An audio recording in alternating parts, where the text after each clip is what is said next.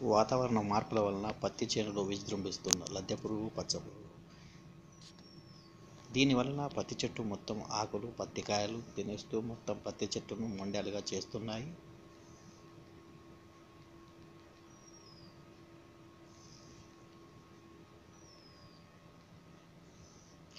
దీని నివారణకు కొరాజిన్ లేదా పిదోరా లేదా లేదా రెమాన్ను పిచికారి చేస్తే ఈ ఒకటి రెండు రోజుల్లో ఈ పురుగు కంట్రోల్గా వస్తుంది. దీని ద్వారా పంట మంచిగా ఉంటుంది.